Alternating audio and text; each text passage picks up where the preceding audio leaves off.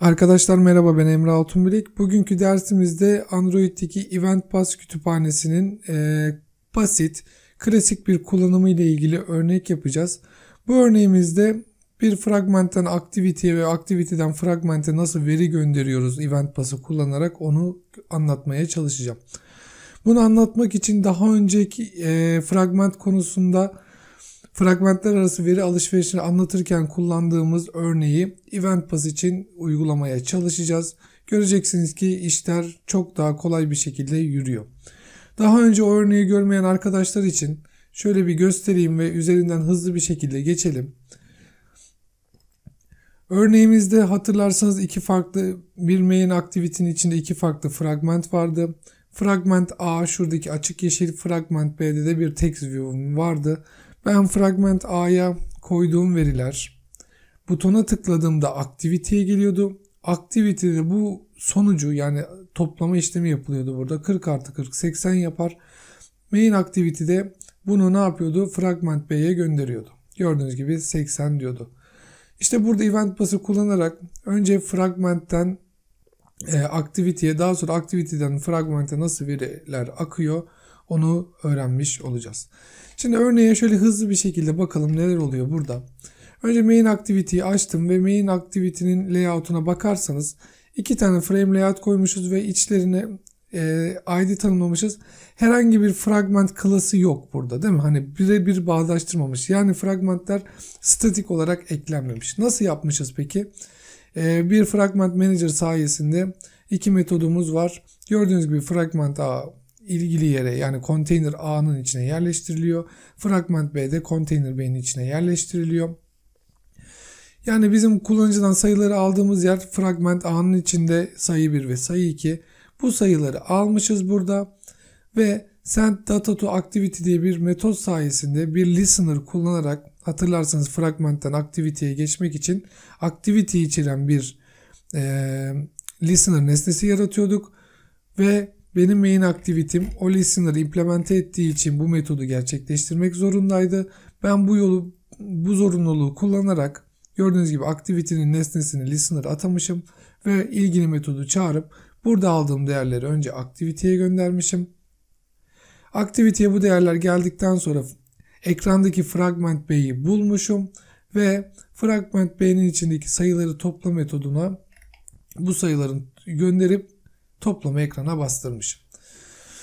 Şimdi burada gördüğünüz gibi önce fragmentten bak fragment A aktivitime deliller gibi bağlı. Aktivitim de fragment B'ye bağlı. Mesela oldu da bir işlem yapıldı ve fragment B ekrandan kaybolduğunda gördüğünüz gibi bütün sistem aslında çöküyor. İşte bu gibi durumları, bu gibi bağımlılıkları ne kadar azaltırsak benim uygulamam o kadar güzel, sorunsuz, hızlı bir şekilde gelişecek. Event Pass'ı kullanarak biz bu bağımlılıkları minimuma indirebiliriz. Şimdi ilk olarak yapmam gereken build.gradle şuradaki modül app denilen kısımdaki bu dosyayı açıyorum. Gördüğünüz gibi iki tane var. Bunun içeriği böyleyken bunun içeriği böyle. Buraya gelip ilgili satırı yani sınıfımın e, kütüphanenin ekleme kodunu buraya yazıyorum compiler etiketiyle. Bir hata alıyorum. Sync now diye burada bir butonum var. Bunu tıkladığımda gidecek internetten bu metotla ilgili pardon bu kütüphane ile ilgili ilgili sınıfları benim projeme dahil edecek. Bitti. Bu kadar. Bunun olup olmadığını nasıl anlarsınız? Şuraya gelip event bas derseniz zaten gördüğünüz gibi demin eklediğim o satırla ilgili veri de burada hani hangi package'dan geldiği bu sınıfın yazıyor. Ben şu an event pası projeme dahil etmiş oldum. Şimdi adım adım gidelim. Benim uygulamamda ne oluyordu? Activity'de fragmentler vardı değil mi? Burada bir şey yapmıyorduk. İlk önce fragment A'da ben kullanıcıdan sayıları alıyordum ve butona tıklanıldığında ben bunları main activity'ye gönderiyordum arkadaşlar. Kullanıcıdan sayıları aldım.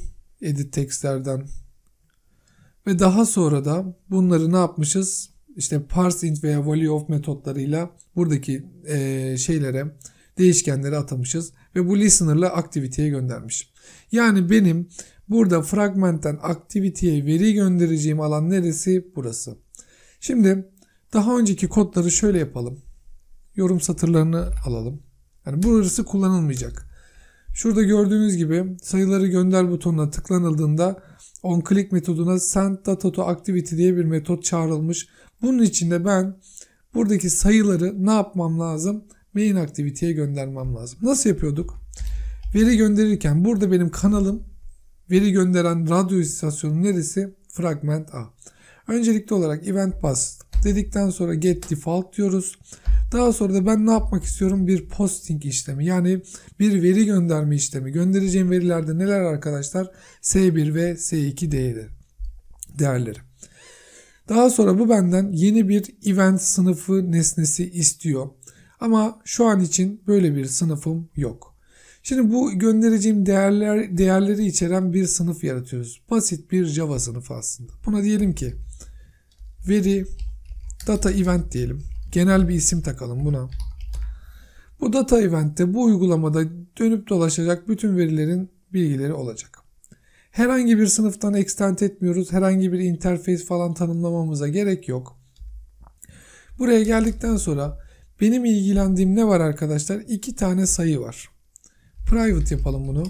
Bu sınıfa özel olsun. Integer sayı 1.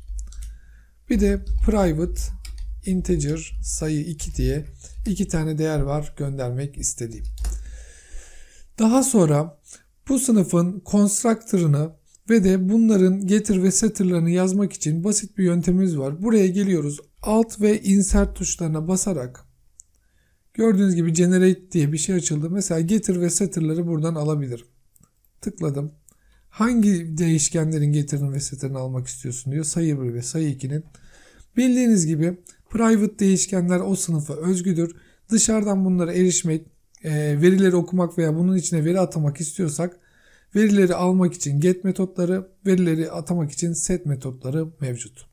Mesela get sayı 1 deyince ne yapacak? Bu sınıftaki sayı 1'i kullanıcıya geri gönderecek. Aynı şekilde bir tane de şuraya hatta yapalım daha belirgin olsun. Bir tane de yine alt insert tuşlarına bastım. Constructor tanımlıyorum. Ve bu constructor'ın alacağı parametreleri yazıyorum. Yani ben data event sınıfından bir nesne yarattığım an şu anki constructor'ı gördüğünüz gibi iki tane parametre bekliyor. Benden bunları yazmamı isteyecek. Ben de bu sayede verilerimi göndermiş olacağım. Nasıl yapıyoruz bunu? Sınıfım bitti bu arada. New dedikten sonra data event sınıfımı çağırıyorum. Data event. Gördüğünüz gibi demin oraya parametre olarak belirttiğim şeyleri benden direkt olarak istiyor. Zaten yazmazsam hata veriyor. Çünkü bu sınıfın bir tane constructor'ı mevcut ve o constructor'da iki tane parametre istediğini söylüyor. Hani parametre istemeseydi veya parametre yazmak istemiyorsak data event deyip boş bir constructor'da oluşturabilirdik. Bu şekilde. Bunu yazarsam Gördüğünüz gibi gidiyor. Çünkü bunun iki constructor'ı var. Bir tanesi hiç parametre almayan ve bu ona uyuyor. Ama bunu yazmazsam bir tane constructor'ı kaldıysa siz bu kurala uymak zorundasınız demektir. Bunu böyle yap yapabiliriz. Bilmiyorum anlamayan arkadaşlar var mı bunu böyle yapınca.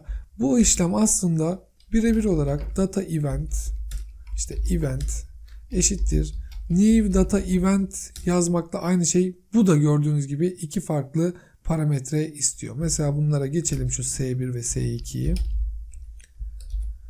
Bunu buraya yazdıktan sonra buraya event diyebiliriz aslında. Ama bunu tek satırda yapmak daha iyi. Çünkü ben event nokta deyip o sınıftaki metotlara burada erişmek istemiyorum. Öyle bir ihtiyacım yok. Boşu boşuna kod kalabalığı yapmamak adına direkt satırın içinde new deyip data event dedikten sonra S1 ve S2'yi e, ilgili yani benden mesaj bekleyen herhangi bir bileşen varsa onlara post edebilirim. Umarım burası anlaşılmıştır. Şimdi fragment A verileri aldı kullanıcıdan ve yayın yaptı. Ben de data event tipinde bir nesne var S1 ve S2 içeriyor. Bununla ilgilenen bir sınıf varsa bu veriler oraya gidecek. Şu an için fragmentten aldığım değerler benim uygulamamda main aktiviteye gelip buradan fragment B'ye gidiyordu ya. Yani benim dinleyici sınıfım main aktivite.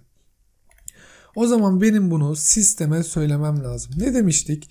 Eğer aktivitelerde sisteme yani kanala register olmak, kayıt olmak istiyorsanız on start ve on stop metotlarında bu işlemleri yapmanız gerekiyor. Yapacağımız işlemler ne?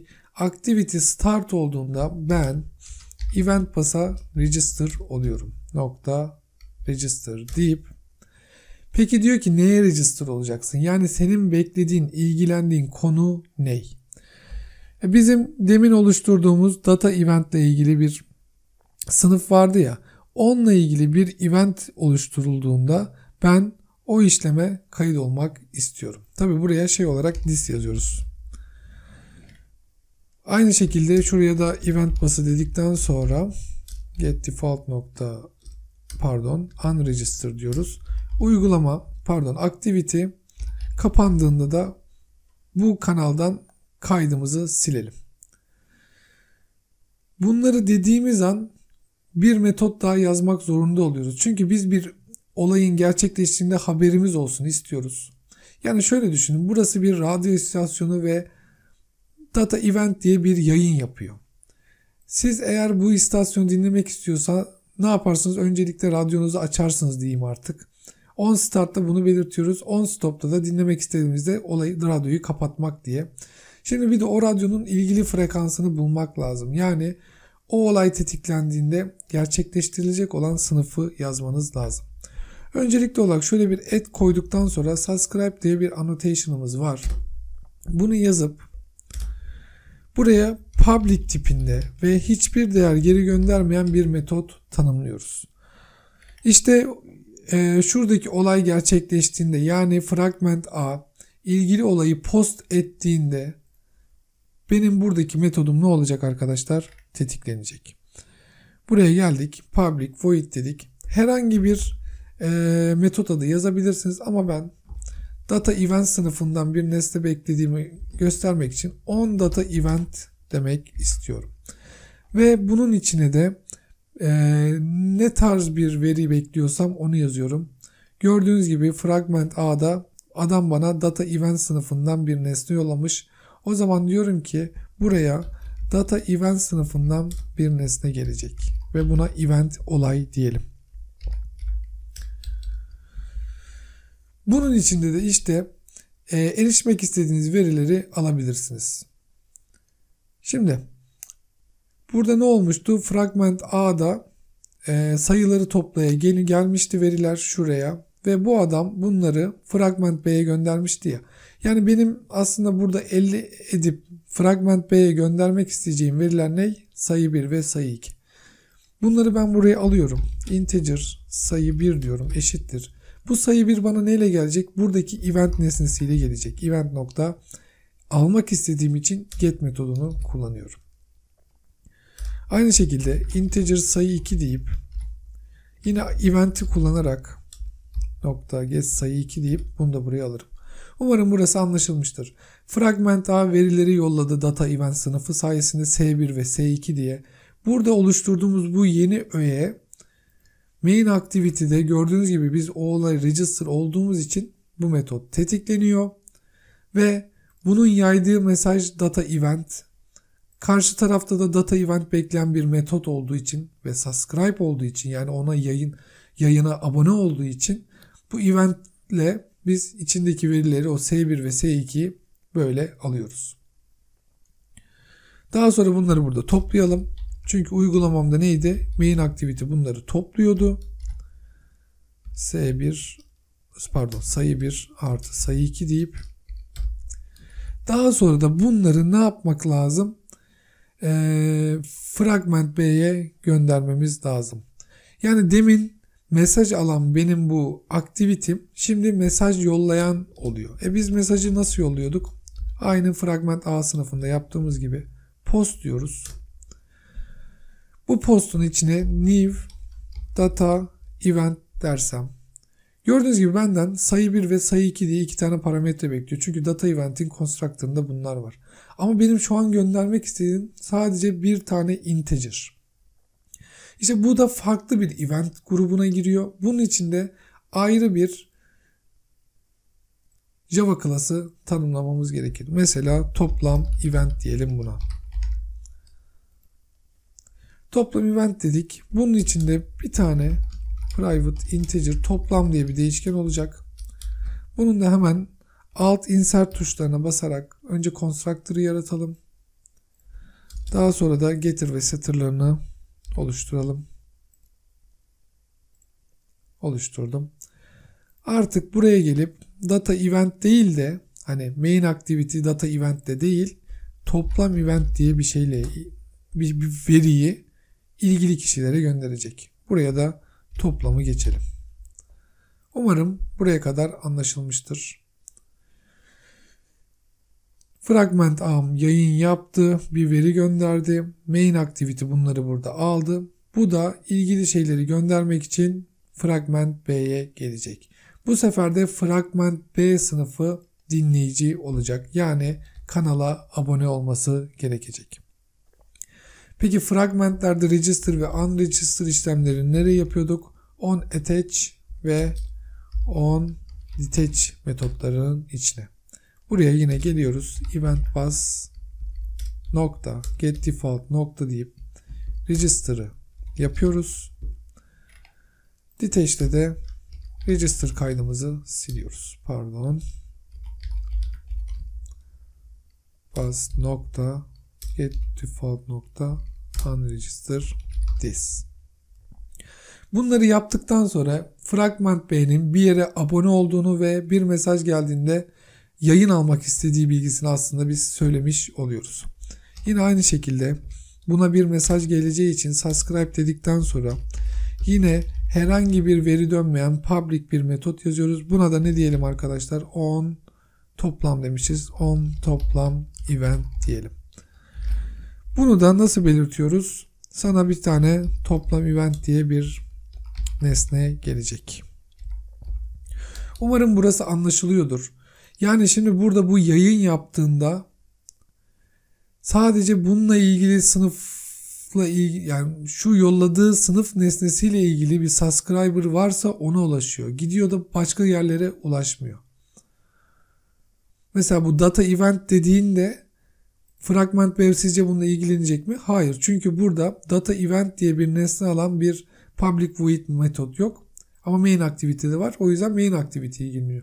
Bu da mesela toplam event diye bir şey yaptığında bununla ilgili tek neyimiz var arkadaşlar? Fragment B'miz mevcut.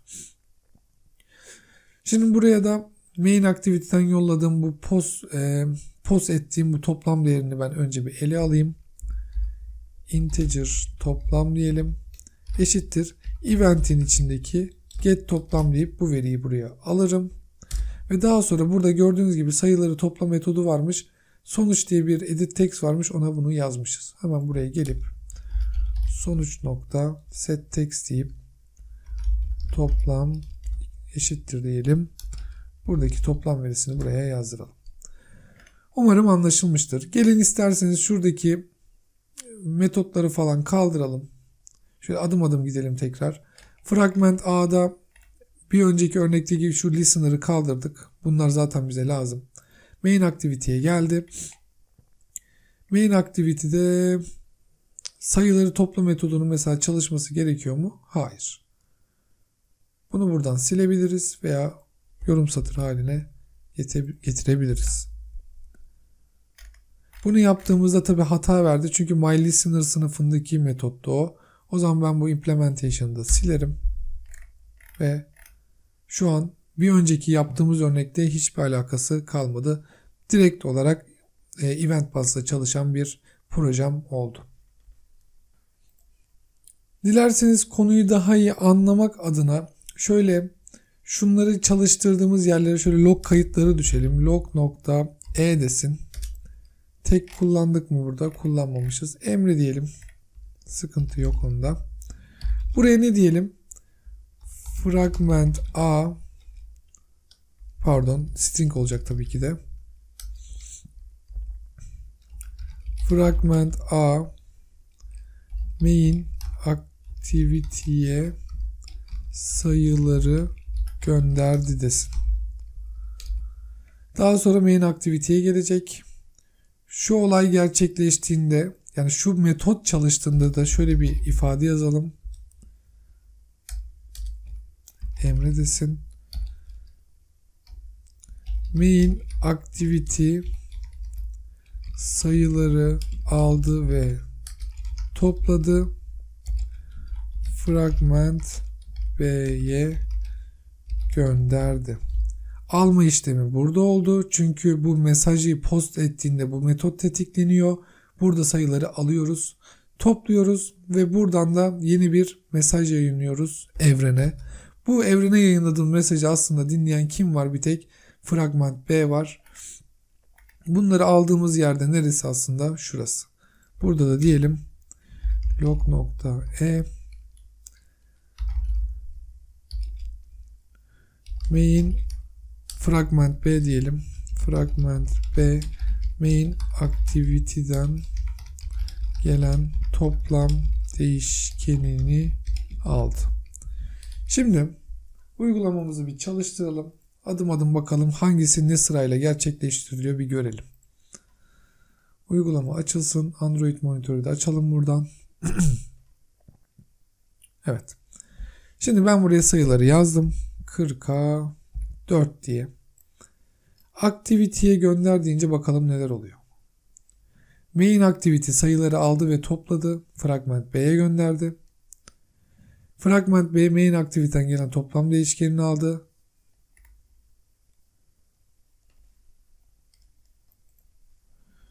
Logget'e bakarsak ne diyor? Main activity sayıları aldı ve topladı fragment. Yani bunda bir sen sizce de şey yok mu? Yani sıra kayması. Şunun ilk önce olması gerekiyordu. Fragment main activity'ye sayıları gönderip daha sonra sayıları alması, toplayıp B'ye göndermesi, daha sonra da fragment B'nin sonucu göstermesi. Yani bir yanlışlık var gibi.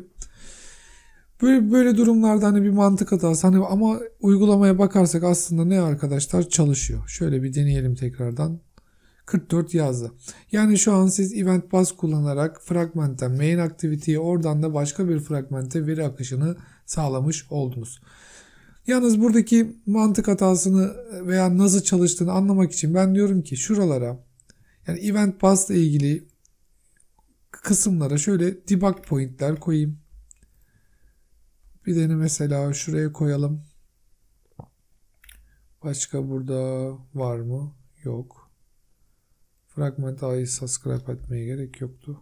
Şunları silebiliriz.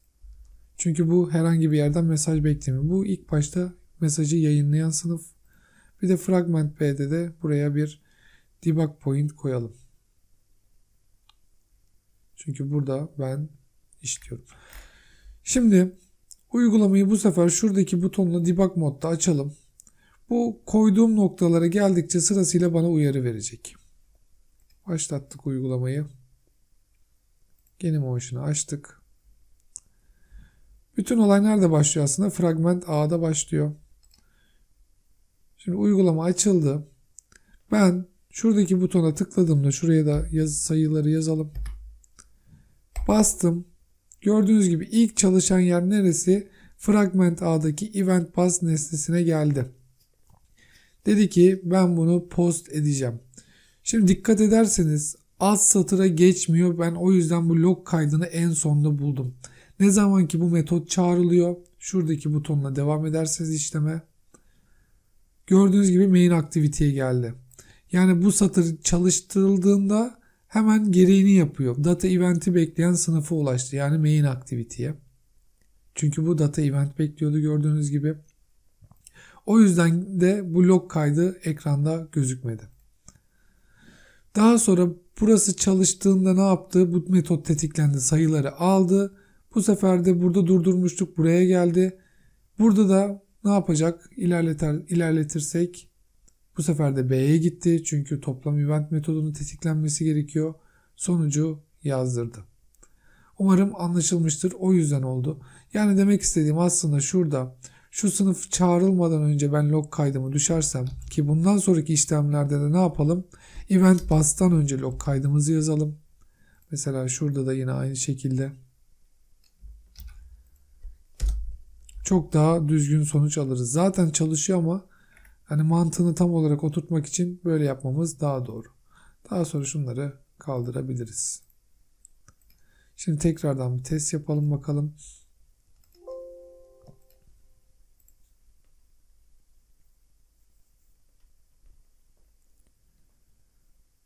Uygulamam açılıyor. Bu sefer sayıları gönder dediğimde gördüğünüz gibi fragment A main activity'ye sayıları gönderiyor. Activity alıyor topluyor B'ye gönderiyor. B de aldığı bu değeri yazdırıyor. Evet basit bir şekilde event basın kullanım şekli bu. Bazı arkadaşların aklına gelebilir. Hocam iki tane sayı bir toplam gönderdiniz. iki farklı sınıf yaptınız. Bunun daha kolay bir yolu var mı? Belki siz 5-6 farklı veri göndermek istiyorsunuz. Ben şöyle bir yöntem geliştirdim. Belki siz de bunu seversiniz, kullanmak istersiniz. Şöyle genel bir data event diye bir sınıf yapıp daha sonra burada inner class'lar kullanarak bir tane dosyanın içinde bütün olayları ele alabilirsiniz. Nasıl olacak o? Mesela benim örneğimde neydi? Ben e, bir iki tane sayı gönderiyordum bir de tek bir sayı gönderiyordum ya. Şimdi burada bir bu sınıfı oluşturduktan sonra buraya gelip statik yani statik olmasına dikkat ediyoruz. Çünkü bundan herhangi bir nesne üretmeden ben sınıfı kullanmak istiyorum. Class dedikten sonra mesela buraya sayıları alan class diyelim. Sayıları al klası. Pardon klası belirtirken ne yapıyoruz? Aslında böyle yapıyoruz. Yine bunun içine bir de static class mesela bunun adı da toplam değer diye bir class olsun. Dikkat edin bunlar ne? Sınıf. Ve daha sonra burada yapılan işlemleri bunların içine koyabilirsiniz. Mesela bu sınıfta yaptığımız işlemler neydi? Şunlardı. Data event olmayacak tabi bunun adı ne olacak artık? Şuradaki sınıfımın adı sayıları al.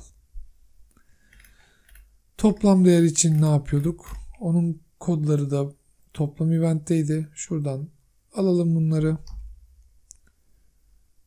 Buraya koyalım. Toplam event değil, toplam değer olacak. Böylece aslında eventleri taşıyan sınıfım bitmiş oldu. Ve de benim şuradaki toplam event sınıfına artık ihtiyacım yok. Sileyim bunu. Bir yerlerde kullanılıyor diye silme diyor. Sorun değil düzelteceğiz. Bir tane genel bir sınıfım var verileri tutan ve bunların içinde birden fazla sınıf koydum. Bunu kullanırken neydi? İlk önce fragment A'dan ben sayıları göndereceğim ya. Nerede gönderiyordum? Şuradaki posting işleminde. Buraya geliyorum. Diyorum ki new dedikten sonra benim sınıfımın adı ne? Data event. Nokta derseniz pardon data event nokta derseniz gördüğünüz gibi onun içindeki o statik klaslara burada erişebiliyorsunuz. Kullanmak istediğiniz ne burada? Sayıları alan sınıf. Bunu derseniz bu sizden iki parametre bekliyordu. Neydi bunlar? S1 ve S2. Bu şekilde bunu kullanabiliriz. Hiçbir sıkıntı kalmadı. Main activity'ye geldik. Şimdi burada sayıları alırken bu sefer ne yapacağız? Event e, beklediği veri tipi data event olmayacak. Pardon yine data event olacak pardon. Ama bu sefer ne yapacağız? Data event nokta sayıları al yapacağız. Yani data event sınıfının içindeki sayıları al sınıfındaki eventi getir. Gördüğünüz gibi bunlar düzeldi. Buradan gönderirken toplam eventi gönderiyormuş. Toplam event değil de data event nokta deyip toplam değer sınıfını yollayacağız arkadaşlar. Burayı da hallettik.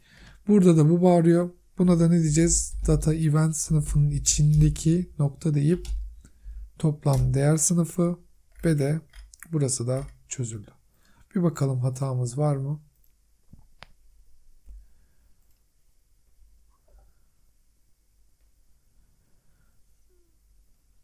Ve şunu bir deneyelim. Gördüğünüz gibi yine sorunsuz bir şekilde çalışıyor. Ne yaptık aslında? Bir tane genel sınıfın içinde yani tek dosyanın içinde bütün göndermek istediğiniz sayıları, değerleri, string ifade veya kendi yazdığınız bir sınıfı böyle tanımlarsanız data event nokta bu, data event nokta bu deyip yine fazla fazla dosya üretmek yerine bir dosyanın içinde tüm hepsini e, ele alabilirsiniz arkadaşlar. Umarım faydalı olmuştur, kafanız karışmamıştır. Bunu öğrenmek, Hani ilk başta zor da gelmemesi lazım. Hani yapılan işlem her seferinde aynı aslında. Başka uygulamalarda da nasıl kullanıldığını göreceğiz. Bu örneği burada bırakalım. Ee, bir sonraki derste görüşmek üzere.